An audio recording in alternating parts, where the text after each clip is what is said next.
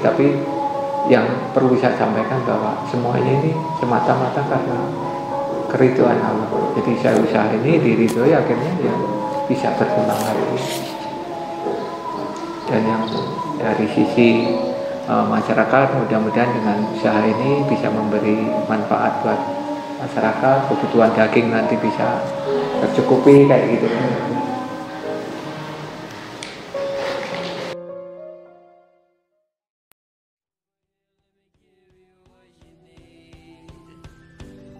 First, let me get lost, get faded, get high off the love I'm making.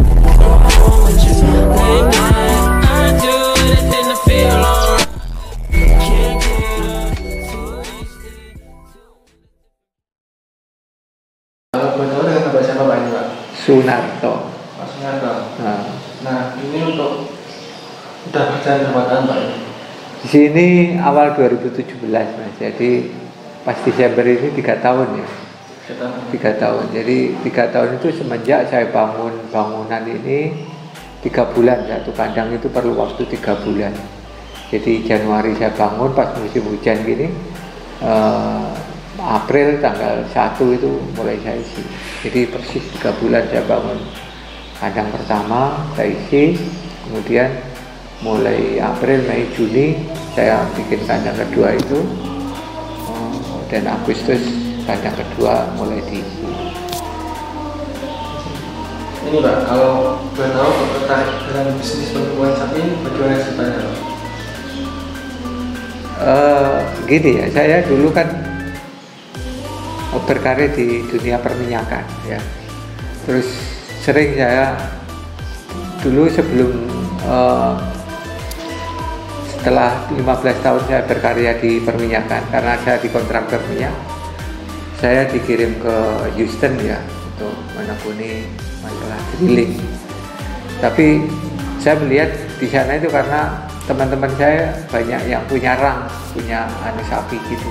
Terus begitu saya kembali ke Indonesia itu kok di Indonesia itu setiap tahun selalu bilang kekurangan daging mesti impor impor gitu Padahal di Amerika itu sangat mudah untuk anu. akhirnya itu ter, terobsesi. Jadi walaupun saya di minyak, terus saya itu sering uh, ya ngikutin lah perkembangan peternakan itu gimana kayak gitu. Jadi awalnya obsesi saya gitu. Terus tiga tahun sebelum saya pensiun itu saya sebenarnya sudah memulai usaha itu. Saya serahkan orang lain. Tiga tahun persis modalnya itu habis 70, 75 ekor sapi tiga tahun itu tinggal 25 nah. kayak gitu. Jadi uh, intinya usaha itu ternyata harus di kalau awal-awal ya harus di handle sendiri. Karena tahu kendalanya apa. Nah ini untuk kandang ini berkapasitas berapa ekor? Ini kapasitas 100 100, 100 tapi sekarang ini karena banyak diambil orang kira-kira tinggal 88 Pak berapa ini tadi diambil dua ya tinggal 88 kalau kapasitas ini Pak untuk biaya pembangunan bisa berapa ini Pak? Kalau boleh tahu. Per ekor? Ya Bapak saya kandang semua.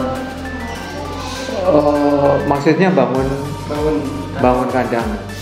Kalau bangunan itu satu satu kandang itu kan kapasitas 50 itu kurang lebih 230 juta satu kandang.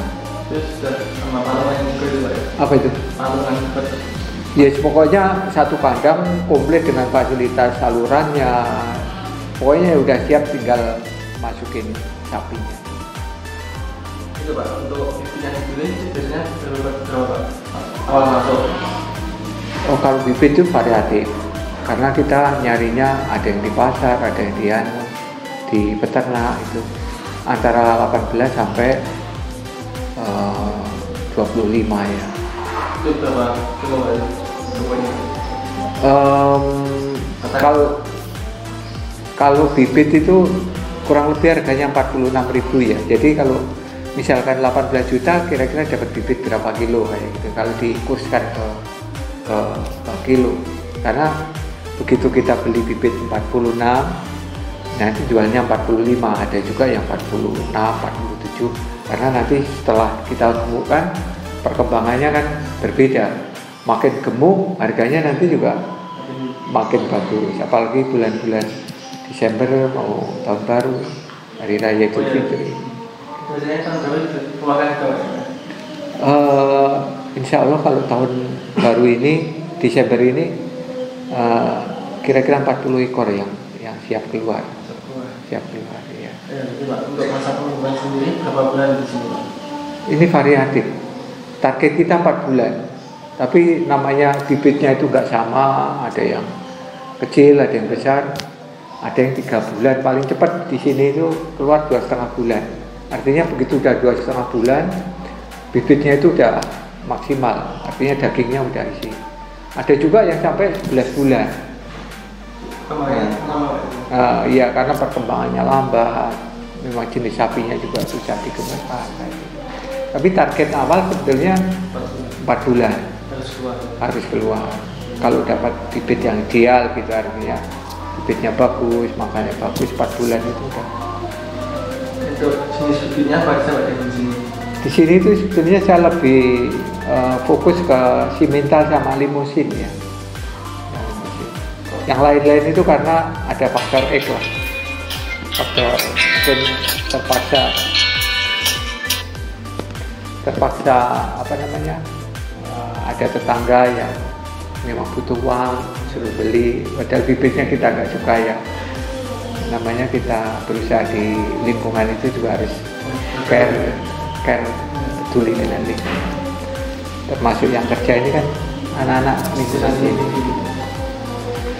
jadi jangan jangan 100% kita berorientasi hanya bisnis Untuk di sini sistem pakainya kering basah apanya? Untuk pakainya sendiri kering basah. kering kering. Kita ngaduk sendiri itu. Ada 12 macam bahan itu.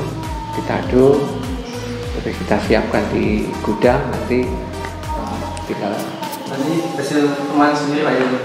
Olahan sendiri. olahan sendiri ya Itu nggak tahu apa aja Pak itu? Macam-macamnya. ada 12 macam itu tadi ya ada bungkil kopra, sawit, polar, pekatul, terus jagung ya tepung jagung, terus ada eh, apa namanya janggal giling, terus ya ada 12 macam ya enggak apanya Tambahan pakai hijauan apa? ya itu sebagai gini kalau di ruminansia itu kan eh, secara teori sebelum dikasih tujuan dua jam sebelumnya dikasih sentrat namanya makan makan. Se- sebetulnya eh, secara teori juga. Ini kan harus 40% ya sentrat itu yang 60% itu makan hijauan tapi dengan kondisi yang ada malah kadang-kadang yang dominan itu pakan sentratnya itu bisa 50 persen, 60 persen, jualnya malah sedikit gitu. Persen. Iya. Nah untuk, perharinya nggak bisa berapa ekor Pak? Apa per kilo untuk satu ekor? Itu. Tergantung, karena eh, secara global ya, sentrat itu dua setengah persen dari berat badan. Jadi kalau makin besar dan dia mau kurang lebih misalkan beratnya 6, 6 kital kali dua setengah persen berarti 15 kilo sehari kayak gitu. Itu Pak. Untuk membutuhkan berapa berapa karyawan di sini Pak? Apa ini? Membutuhkan berapa karyawan? Ini dua kandang ini satu deret saya kasih satu orang ya. Jadi ini karena dua eh, dua kandang empat deret itu empat orang. Terus yang bagian mempersiapkan pakan itu satu orang yang adu itu. Dan yang ngurusin kebun ini ada satu orang.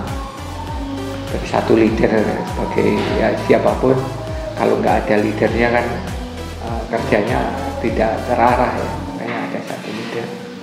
Ya. Jadi satu. Untuk kendalanya sendiri itu pas pertama itu Pak?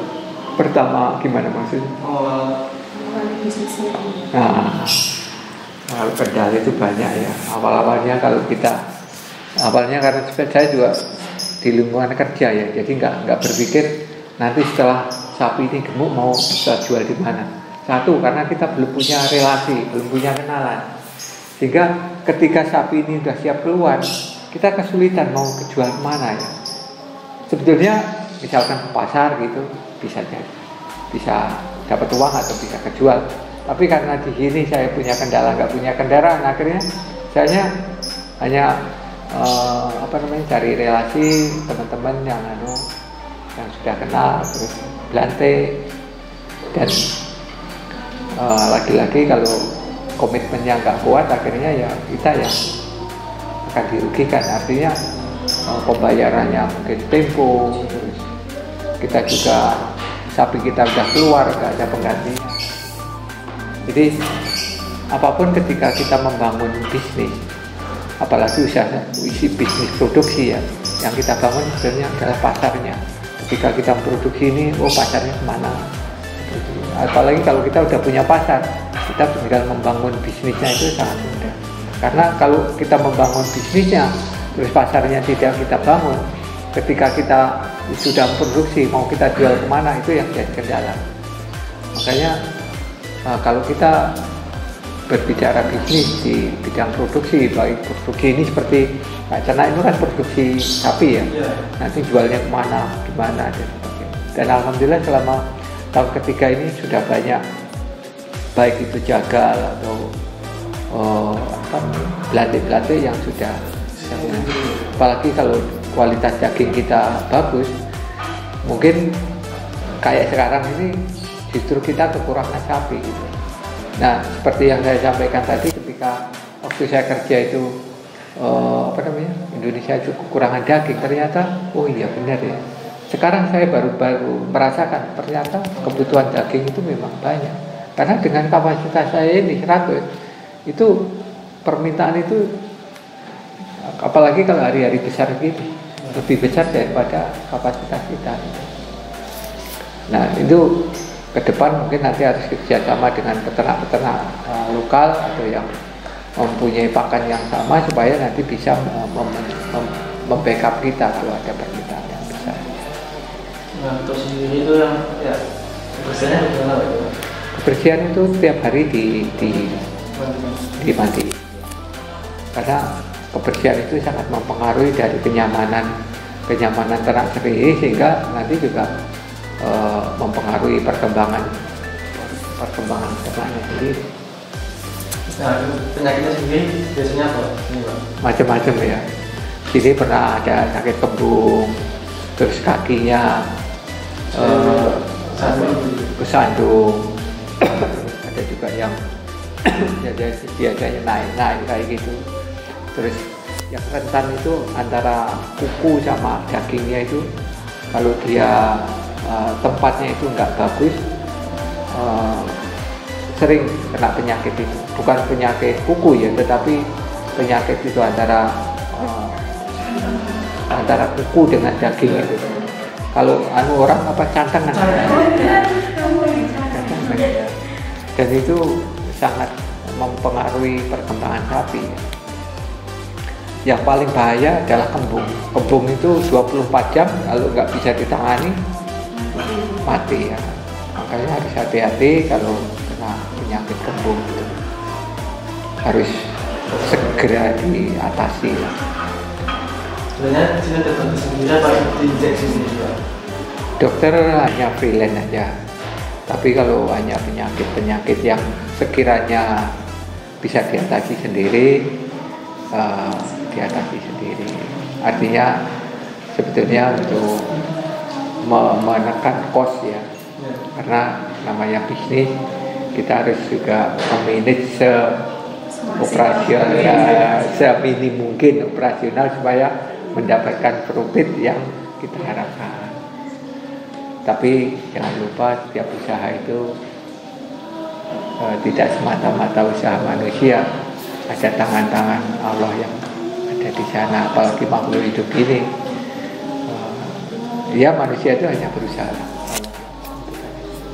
Ya pak. Ini kan lupa juga untuk pakai sendiri berapa kali sehari pak? Pakan itu sentra dua kali pagi sama siang ini habis dimandiin habis ini nanti pak sentra hijau-hijauannya tiga kali. Seperti tadi saya bilang setelah dua jam pagi kan pakan sentra pagi itu kan jam 7 kita kasih makan. Jam 9 nanti kasih jujuan sampai kita lihat nanti jam 11 gimana setelah itu kita bersihin semua supaya tidak ada lalat di tempat makan Nah, itu Pak, untuk kotoran itu buat pupuk sendiri apa ada yang ambil? Ah, sementara ini kotorannya langsung bersama anu ini air apa namanya guyangan ini masuk ke lahan rumput gajah kita. Lahan rumput gajah kita. Sebetulnya ada wacana mau kita bikin biogas ya. Iya. Biogas supaya memberi manfaat ke lingkungan sini. Cuman ini belum ya insya Allah musim musim kemarau yang akan datang insya Allah akan kita realisasikan termasuk pengolahan apa namanya feses ya pengolahan feses itu juga rencana gitu. Pak, suka dukanya apa sama juga? Kenapa? Suka dukanya karena saya pensiunan ya. Ya kita kalau saya saya nikmati artinya ketika saya sudah nggak aktif seperti dulu eh, saya merasa enjoy dengan aktivitas ini. Artinya mungkin kalau saya nggak punya aktivitas ini mau ngapain ya? Apalagi orang pensiunan biasanya kan eh, dan prinsip saya ibadah itu tidak harus di masjid atau di musola gitu. Dengan harapan kita juga buka peluang kerja begini kita memberi kesempatan orang lain bekerja. Kadang-kadang kalau saya melihat sapinya udah makan terus kenyang tenang yang kerja senang itu udah, udah. tapi dukanya kadang-kadang kalau kita ngadu komposisinya yang berbeda sapinya nggak mau makan. Itu kadang-kadang saya pulang itu masa berpikir apa yang salah? Sehingga sapi saya nggak mau makan gitu. Itu kalau berkaitan dengan tapi kalau namanya berbisnis suka dukanya ya itu. Karena dulu saya 36 tahun itu di dunia perminyakan yang penuh dengan disiplin ya. Karena meleset setengah detik aja kita kadang-kadang bisa fatal. Artinya misalkan dulu saya transport dari darat ke saya kebetulan ke Pulau Seribu sana. Kalau perjalanan helikopter itu kan lebih 30 menit. Tapi kalau kapal laut itu kan kira-kira 5 jam. Nah dengan jadwal yang ketat gitu ya baik itu pesawat atau dengan kapal laut kalau 5 menit aja kita terlambat. Misalkan jam 7 berangkat jam 7 harus kalau saya terlambat 5 menit saya mesti ketinggalan. Siapa pun walaupun saya sebagai uh, kepala lapangan nggak peduli karena kita justru dengan itu kita harus menunjukkan kita harus waktu artinya sebelum jam keberangkatan kita harus ada. Nah ketika kita terjun di masyarakat ini itu yang berbeda jauh. Artinya kadang-kadang orang ambil sapi pak uangnya kurang satu juta 10 juta besok ya itu kadang-kadang sampai seminggu ada sebulan ada tiga bulan juga. Itu yang wah terjadi masyarakat begini ya. Terus kadang-kadang oh sapinya bagus gini gini. Gini saya kan percaya udah anterin. Ternyata nyampe sini sapinya itu dicelodang itu nyampe sini nggak mau makan. Kempes kayak gitu. Ya gitu lah. Tapi itu kembali lagi kalau kita komitmen ya kita sebagai orang beragama uh, berikan yang terbaik buat buat kita maupun orang lain. Dan itu akan langgeng dibanding dengan yang yang diadakan tadi dan seperti kayak bapak tadi kan? Uh, awalnya juga begitu baru pertama kali ngambil di sini pak uangnya besok sampai sebulan. Akhirnya begitu kebutuhan meningkat gini akhirnya ke sini lagi. Saya janji kalau kamu ngambil sapi di saya boleh. Tapi hari itu ngambil hari itu ada uang. Tapi kalau kamu misalkan dari awal misalkan uh, komitmen ya saya bisa menjaga komitmen itu. Misalkan dua hari tiga hari kayak kayak gitu ya. ya memang orang berbisnis itu harus fleksibel tapi uh, buat saya komitmen itu di dalam bisnis sangat sangat penting ya. Nah, penting menjaga kepercayaan. Misalkan kita bisa dipercaya misalkan belum ada uang terus dia butuh daging saya kan percaya berapa hari di dalam satu minggu. Nggak apa-apa ambil nanti satu minggu. Tapi kalau dari awal misalkan tidak nggak komitmen saya juga akan tak ragu ya.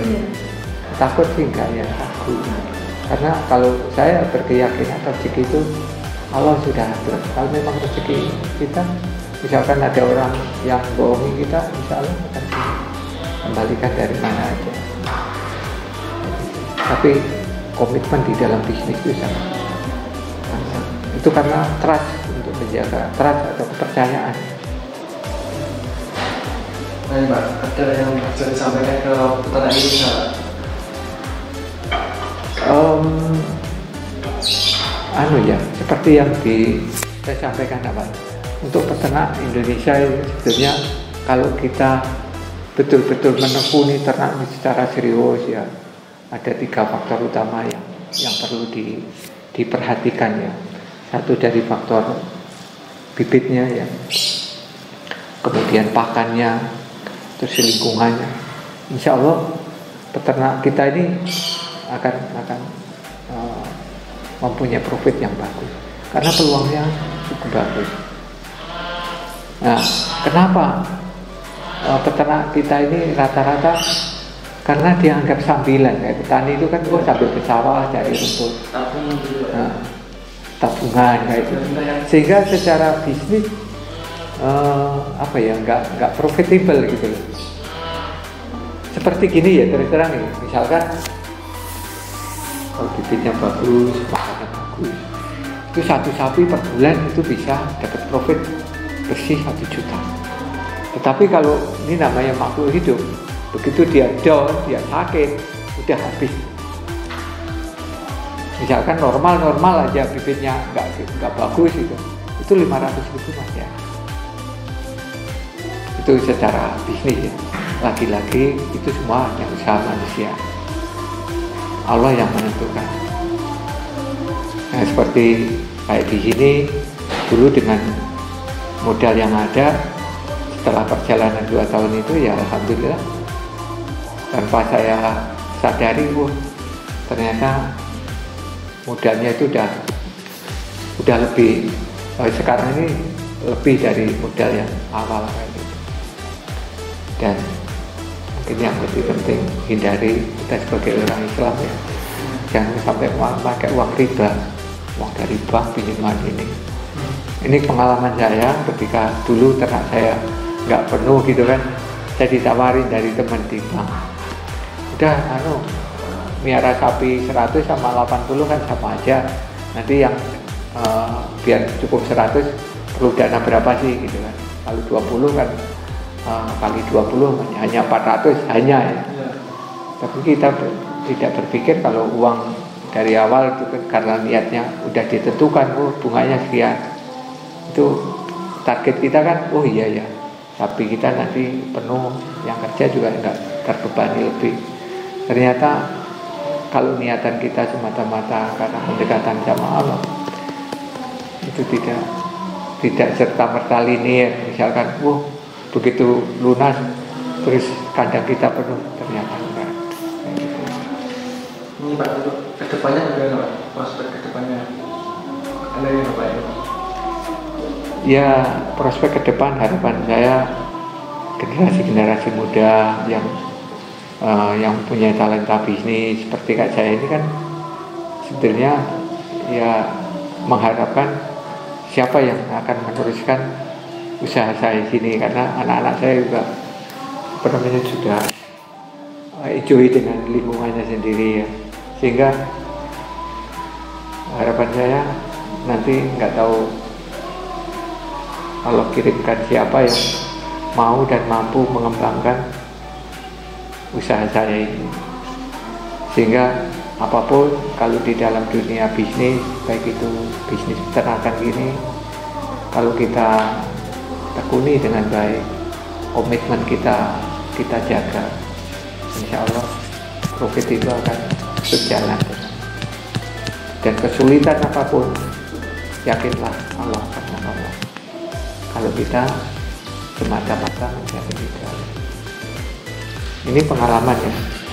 Kemarin itu saya nggak cukup uang untuk bayar anak-anak kandang ini karena ini kan waktunya bayaran.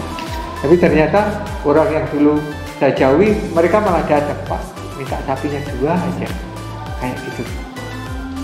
tanpa disengaja artinya mereka datang ke sini dengan baik-baik beli sapi dua akhirnya saya kan dapat dua dan bayar mereka kayak gitu itu uh, apa namanya perjalanan real yang, yang dan itu uh, apa pun kesulitan kita ketika Allah kita libatkan di dalam bisnis ya ini maaf kalau saya agak-agak menyimpang ya.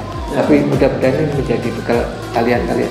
Kalau kita beragama libatkanlah Allah di situ. Insya Allah kesulitan apa pun Allah akan membantu. Saya yakin ini tidak semua bisa menerima tapi kalau kita ber, uh, berkeyakinan berislam yang insya Allah karena seperti ternak ini besok tetap sehat atau besok akan sakit kan? Ada yang ngatur ya kan? Walaupun kita mempersiapkan diri baik. Belum tentu bisa tapi kalau kita hanya mau karena beliau karena Allah lah yang semua yang mengatur ini. Jadi saya pun misalkan jam 2 jam 1 pulang ya udah. Saya serahkan anak-anak yang di sini dan kita tetap tawakal usaha tetap ada gitu ya Yaudah, sekian terima kasih atas doanya Bapak untuk dari sama-sama mudah-mudahan yang sedikit ini memberi manfaat ke uh, semuanya termasuk kalian-kalian yang masih muda yang mempunyai keinginan untuk berwirausaha ya. Apa pun yang kalian terjunkan yang kalian tekuni nanti satu pesan saya komitmen ya komitmen dijaga. Kemudian libatkanlah setiap aktivitas kita itu dengan Allah ya. Insya Allah Allah lah yang membantu. Karena pada dasarnya manusia ini hanya berusaha. Allah yang akan bantu. Terus terang dari usaha ini kan dulu uh, uang hasil saya kerja ternyata 36 tahun. Ya ada kurang lebih dua setengah. Itu ya. Dan alhamdulillah uh, kalian bisa lihat sendiri kalau dari sisi finansial ya kalau dihitung uh, mungkin ya lebih dari situ ya. Itu kalau kalau, kalau ini tapi yang perlu saya sampaikan bahwa semuanya ini semata-mata karena keriduan Allah. Jadi saya usaha ini diridhoi akhirnya ya bisa berkembang lagi dan yang dari sisi uh, masyarakat mudah-mudahan dengan usaha ini bisa memberi manfaat buat masyarakat. Kebutuhan daging nanti bisa tercukupi kayak gitu kan